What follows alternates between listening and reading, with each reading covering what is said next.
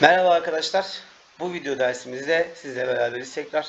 Konumuz arkadaşlar Haçlı seferleri ve sonuçları. Ben e, geçen derslerimizde size e, şöyle yüzeysel bir şekilde bu, bu konudan bahsetmiştim ama daha sonra işleyeceğimizi zaten size söylemiştim. Evet. Haçlı dediğimiz bu seferler ve sonuçlarından bahsedelim gençler. Orta Çağ'da Hristiyan dediğimiz bu dünyanın arkadaşlar bir araya gelerek yani Hristiyanların bir araya gelerek görünüşte onlar için e, çok kutsal olan e, Kudüs ve civarını e, Müslümanların elinden almak için gerçekte ise gençler pek çok ekonomik ve siyasi sebeplerle e, o dönemki İslam dünyasının arkadaşlar üzerine düzenledikleri bir dizi seferlerden o oluşuyor. Bu seferlere e, katılan askerler arkadaşlar giderken kıyafetlerinin ön kısımlarında arkadaşlar e, dönerken ise arka kısımda e, haç işareti tabii ki biliyorsunuz e, haç işareti onların dininin sembolüdür. Oldukları için arkadaşlar bu seferler Haçlı seferleri ismini almıştır. Bu seferler arkadaşlar 1096 yılında başlıyor. 1297 yılına kadar devam ediyor. Evet bu seferlere karşı en çok arkadaşlar e, Türkiye Selçuklu Devleti ve Eyyubi Devleti ne yapmıştır? Mücadele vermiştir. Tabii ki bu ikisinin yanında arkadaşlar o dönemde yer alan e, Anadolu beylikleri de mücadeleye katılmıştır. Evet bu seferlerin arkadaşlar bir dizi sebepleri var. İlkincisi ve gerçekte olan nedir arkadaşlar? Tabii ki ekonomik sebeplerdir. O dönemde e, mali olarak aslında çok iyi durumda olmayan kıtlıklarla, çeşitli e, hastalıklarla boğuşan arkadaşlar Avrupa'nın doğunun bu zenginlikleri ne yapması tabii ki ulaşmak istemesidir. Ve o dönemde e, özellikle arkadaşlar baharat yolunun e, Müslümanların ve Türklerin elinde olması. Bu ticaret yollarını gençler ne yapmak? Onlardan almaktır. Bazı derebeylerin daha fazla arkadaşlar toprak ve zenginlik kazanarak ne yapmak istemesi? Güçlenmek istemesi nedir arkadaşlar? Ekonomik sebeplerdendir. Evet dini sebepler. Gençler bunlar aslında bunun nedir? Ee, görünen sebeplerdir. Aslında doğrusu nedir arkadaşlar? Gerçek olan tabii ki paradır. Evet dini sebepler Müslümanların elindeki e, Kudüs ve çevresini onlar için tabii ki nedir orası? Kutsal topraklardır. Geri almak istediler arkadaşlar. Papa'nın ve kilisenin onun bağlı e, olduğu Katolik kilisesi ne yapıyor arkadaşlar? Bu işi başlatıyor. Katılımlar için ne yapıyor o gençler? Hem zafer hem de cennet vaat ediyorlar. Evet. Katolik Papa'nın e, Ortodoks Kilisesi'nde arkadaşlar bu yolla ne yapmak istemesi? Kendi kontrolüne almak istemesi. Ve o dönemde arkadaşlar e, Fransa'da Fransa'da faaliyet gösteren bir tarikatın çalışmaları ki o tarikatın adı nedir?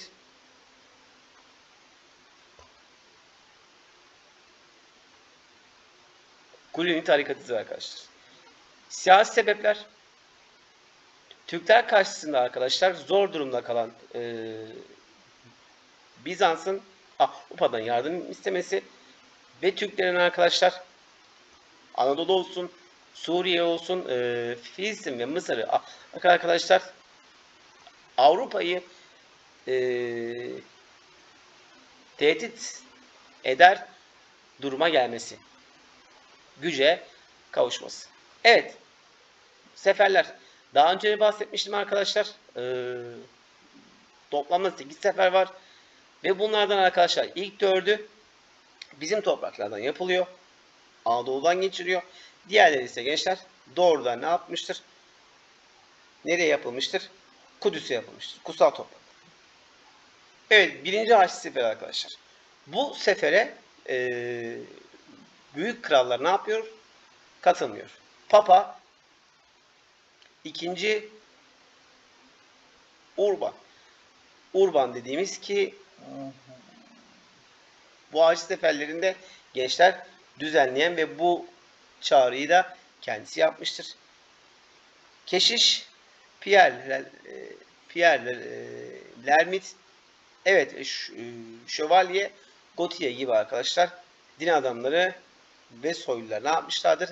Bir Cahiç seferine öncülük yapmışlardır. Evet. Haçlılar arkadaşlar o dönemde kendileri için kutsal saydıkları Kudüs'te bir Latin krallığı ne yaptılar? Kurdular. Ve diğer tabii ki yerleri kuruyorlar. Nerede kuruyorlar arkadaşlar? Antakya'da, Urfa'da, Trablus'ta ve Yafa'da arkadaşlar. Ne yapıyorlar? Küçük küçük krallıklar kurmuşlardır. Başarılı olan arkadaşlar tek seferdir. Diğerleri hepsi başarısız olmuştur. Evet. İkinci Haçlı Seferi arkadaşlar. Selçuklu'nun Musul ah, tabeyi olan yani valisi olan e, İmamettin Zeyli gençler Urfa Kotluğu'na daha daha önce e, Haçlıların kurduğu bu Urfa Kotluğu'na ne yapıyor arkadaşlar? Son vermesiyle Kudüs Kurallığı'nın e, Türklerin üzerinde bir baskı altına e, girmesinden sonra arkadaşlar Haçlılar ne yapıyorlar? Avrupa'dan tabii ki yardım istiyorlar. İşte bu yardımın da neyidir? Bu sonucudur. İkinci Haç Seferi. Tabii ki ne yapmışlar arkadaşlar? Başarısız olmuştur. İlk sefer hariç hepsi arkadaşlar nedir? Başarısızdır. Üçüncü Haç Seferi.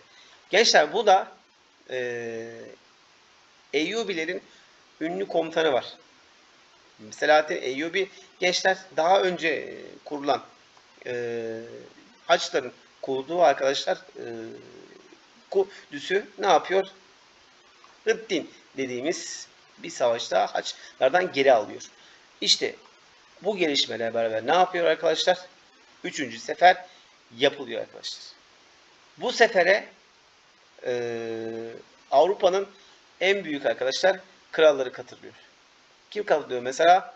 Alman İmparatoru arkadaşlar Barbarossa, Barbarossa katılıyor. Fransa kralı katılıyor ve İngiliz kralı aslan yürekli e, Richard katılıyor arkadaşlar. Evet deniz yoluyla katılıyorlar. Bu sefer de tıpkı diğerleri gibi başarısızlıkla sonuçlanmıştır arkadaşlar. Dördüncü sefer arkadaşlar deniz yoluyla olan tek seferdir. Ve arkadaşlar burada e, Haçlılar İstanbul'a geliyorlar ve Bizans arkadaşlar e, ve İstanbul'u yağmalıyorlar ve İstanbul'da bir Latin krallığı kuruyorlar. 1204'te ve bu gelişmeyle beraber e, Bizans gençler ne oluyor? Parçalanıyor ve Bizans'ın içinde bulunan bazı soylu kesim arkadaşların bir kısmı gençler nereye gidiyor? İznik'e giderek burada İznik Rum İmparatorluğunu diğer bir ise arkadaşlar nereye gidiyorlar? Trabzon'a giderek burada ayrı bir e, Trabzon Rum İmparatorluğu kuruyorlar arkadaşlar. Evet bu sefer arkadaşlar Cahit Seferi aslında kendi gayesinden ne yapmıştır? Sapmıştır. Ee, İstanbul'u bir yağma yağma yapılmıştır. Ve Katolik Ortodoks arkadaşlar çatışmasına dönmüş bir seferdir. Evet.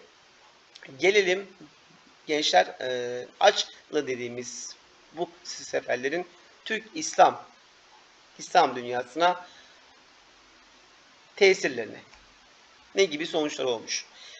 Bir kere arkadaşlar Türklerin bu yüzden batıya doğru ilerleyişleri tabii ki ne olmuştur? Bir süre durmuştur. Ve e, Batı Anadolu geçici bir sürede arkadaşlar ne yapmıştır? Kaybedilmiştir. Çünkü neden? Buraları kim almıştı? Bizans geri almıştı. Türkler arkadaşlar onlar kimdir? Ee, Doğu Selçukluları, e, Danışmentler, Tuklar, e, Musul Ahtabeyliği, Eyyubiler ve Memlükler arkadaşlar Müslümanlığı Haçlara karşı çok e, üstün bir şekilde ne yapmışlardır? Savunmuşlardır arkadaşlar. Ve Müslümanlığın yarımadasına kısılmasını, o, orada kalmasını ne yapmışlardır? orada kalmasında demişlerdir arkadaşlar. Ve bu da ve bu da e, tabii ki Türklerin İslam dünyasında e, saygınlıklarını artırmıştır arkadaşlar. Üçüncü sonuç Anadolu, Suriye ve Filistin ne yazık ki bu çatışmalardan dolayı arkadaşlar ne yapmıştır? Arap e, bir hale gelmiş ve birçok insan ölmüştür arkadaşlar. Haç seferlerinin Avrupa ve dünya tarihi açısından sonuçları. Bir din sonuçları arkadaşlar.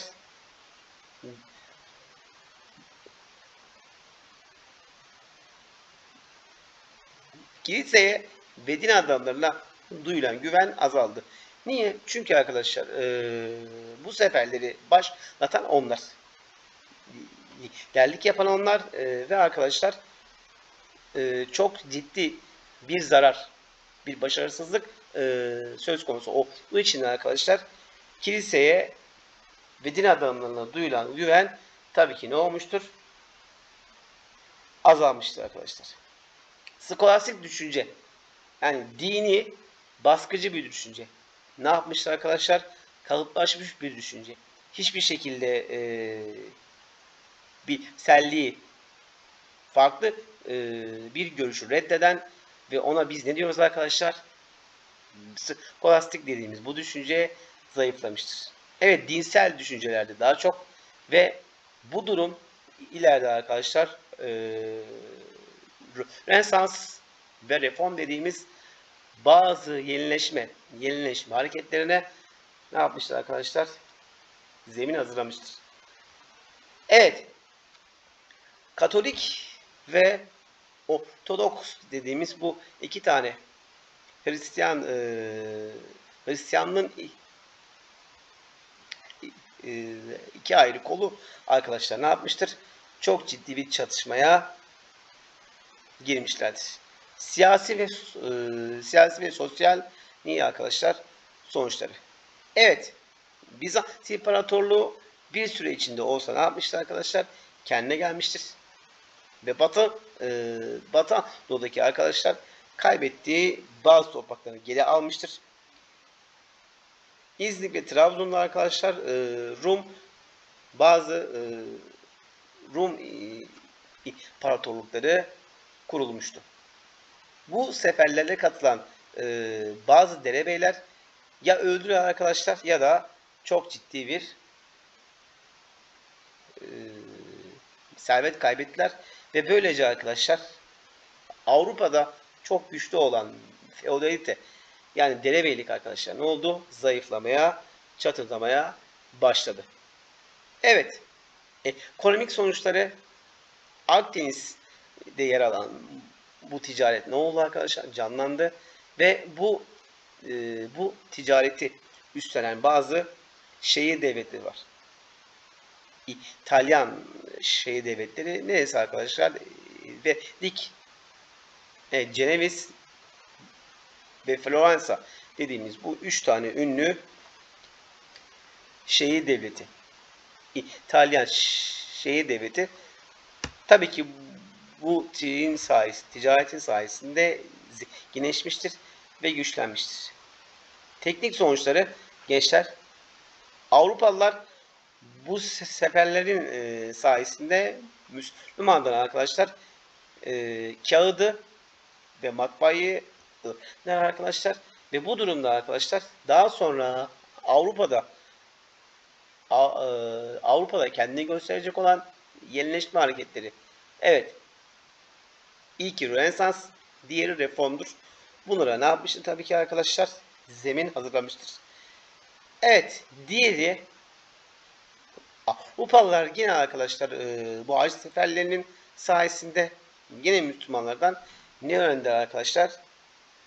Barutu öğrendiler ve bu barutu daha sonra toplarda nasıl kullanılır o, o, onu öğrenerek arkadaşlar e, bu topları feodal beylere karşı kullandılar ve bu düzenin arkadaşlar e, çökmesine sağladılar.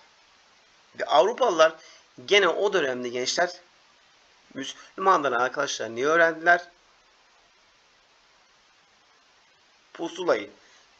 Evet. Öğrendiler ve bu durum ileride coğrafi keşiflere ne yapmıştır arkadaşlar? Zemin hazırlamıştır. Anadolu'da Moğol tehlikesi. Daha önce ben bahsetmiştim arkadaşlar. Anadolu'da Moğol tehlikesi e, Anadolu Selçuklular ile arkadaşlar Moğolların tam ortasında olan e, ve bir tampon devlet görevi gören e, Hazem Şahlarının arkadaşlar e, Sıçemen dediğimiz bu savaşta ortadan kalkmasıyla arkadaşlar ne olmuştu? Bu tampon bölge tabii ki ortadan kalkmıştı ve Moğollarla Anadolu Selçuklular arkadaşlar karşı karşıya gelmişlerdi. Komşu olmuşlardı. İşte bu durumda ne oldu arkadaşlar? Anadolu'da bir Moğol tehlikesini ortaya çıkardı. Evet. Alaaddin Keykubat bu tehlikeyi kendi siyasi deyasıyla, kendi becerisiyle ne yapmıştır arkadaşlar? Kendi çağında, kendi döneminde bir süre bunu engellemiştir. Ama ne yazık ki kendisi Moğollara karşı bir ittifa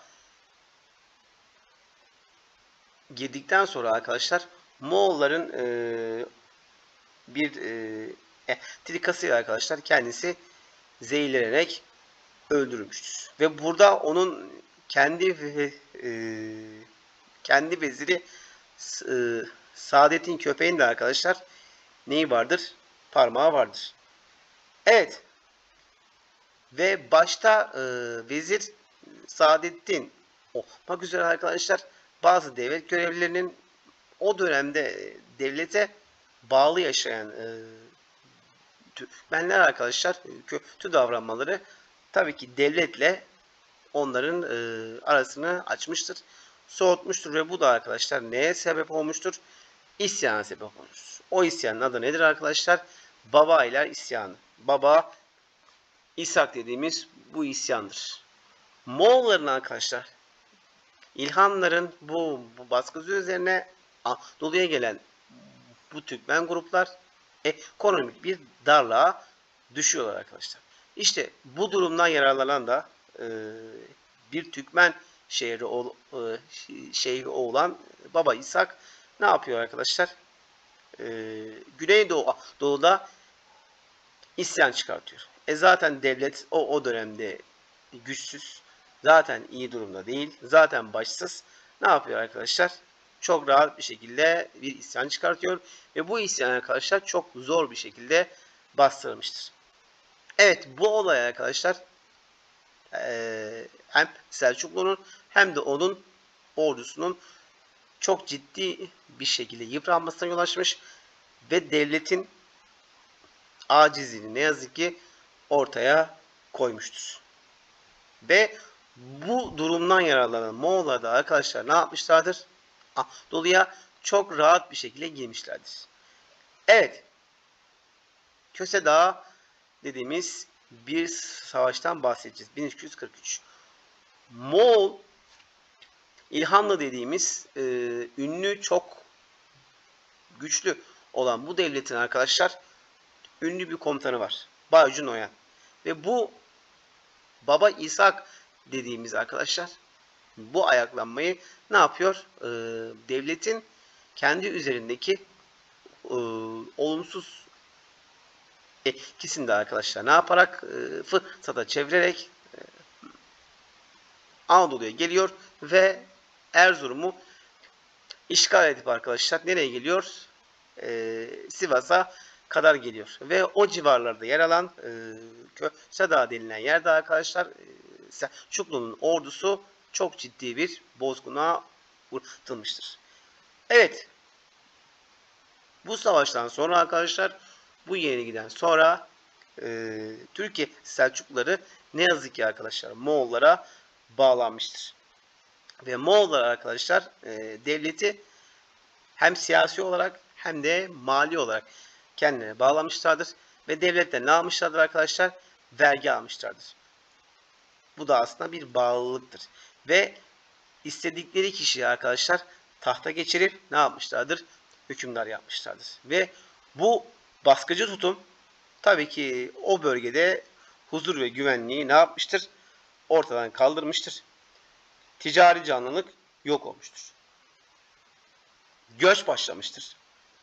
Batıya doğru e, ve sınır bölgelerinde tabii ki e, Türk nüfusu arkadaşlar yoğunlaşmıştır.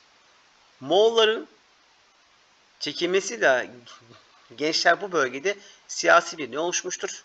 Boşluk oluşmuştur.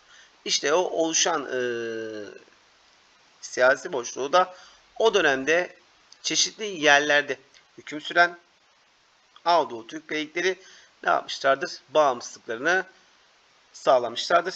Ve arkadaşlar Anadolu'da Türk siyasi birliği ortadan kalkarak ikinci dönem beylikleri başlamıştır. İkinci beylikler dönemi başlamıştır. Köse Dağ'dan sonra. Evet. Gıyasettin Keyhüsrev e, üçüncü Gıyasettin Keyhüsrev'in ölümünden sonra arkadaşlar başlayan taht kavgalarından da istifade eden Moğollar ne yapmışlardır? Tabii ki Anadolu üzerindeki daha doğrusu devlet üzerindeki baskılarını daha da arttırmışlardır. Ve e, Selçuklu'nun ünlü vezirlerinden olan Muinnettin Pervane arkadaşlar Moğollara karşı gelsin diye kendilerini Moğollardan bertaraf etsin diye arkadaşlar Memlüklerden ne yapmıştır? Yardım istemiş ve Memlük'ün ünlü sultanı Baybars'ı Anadolu'ya ne yapmıştır? Davet etmiştir. Ve kendisi de arkadaşlar bu davete olumlu yanıt olumlu yanıt vererek arkadaşlar Moğolları Elbistan'da yenmiştir. Ve arkadaşlar Moğollar tarihlerinde ilk kez ilk kez yenilgiye uğratılmışlardır. Evet bu yenilgiden sonra arkadaşlar Moğollar e, Anadolu'daki bu baskılarını tabii ki daha da arttırmışlardır. Evet. Türkiye Selçukluların arkadaşlar son hükümdarı 2. Mesut'tur. Ve bu hükümdarın da 1308'de vefatından sonra arkadaşlar artık tahta tahta geçecek hiçbir Selçuklu soyu kalmamıştır arkadaşlar. Ve bundan sonra arkadaşlar Moğollar e, Anadolu'ya kendi merkezlerinden gönderdikleri valilerle ne yapmışlardır? Yönetmeye başlamışlar sevgili gençler. Evet, ikinci beylikler dönemi. Bu beyliklerden en güçlü olan gençler Osmanlılara karşı en çok en çok e, mücadele veren Kahraman oğulları Beylidir. Neden? Çünkü e, Anadolu Selçuklu'nun başkent çevresinde yani Konya civarında Karaman civarında arkadaşlar e, kurulmuş ve kendini onun mirasçısı saymıştır. Bu beyliklerden arkadaşlar Kalisteoğulları bugünkü Balıkesir ve Çanakkale civarında kurulmuştur. Evet Candaroğulları bugünkü arkadaşlar nerede? Kastamonu ve civarında e, Ruhanoğulları nerede arkadaşlar? Manisa çevresinde Aydınoğulları e, Aydın ve İzmir çevresinde Teşoğulları arkadaşlar bugünkü Mu Muğla Muğla ve, ve çevresinde Muğla ve çevresinde Pervaneoğulları arkadaşlar e, ve çevresinde ne yapmışlardır? Bağımsızlıklarını kurmuşlardır arkadaşlar. Ve Pervaneli e, Pervaneoğulları arkadaşlar tabii ki bir denizci beyliktir. Gene Teşeoğulları da arkadaşlar denizci beyliktir. Aklınıza olsun. Birinci beylikler ile bu dönemin arkadaşlar arasındaki temel fark bu dönemin Anadolu e, Türklüğü için huzurun ve refahın bozulduğu ve, e, ve her açıdan arkadaşlar nedir? Tabii ki güzel olmayan bir dönemdir. E, sıkıntılı bir dönemdir. Türkler doğuda Moğol, batıda ise evet Bizans'ın baskısına maruz kalırlar gençler. Birinci temizliği arkadaşlar burada son bulmuş oldu. Bir sonraki video dersi görüşmek üzere.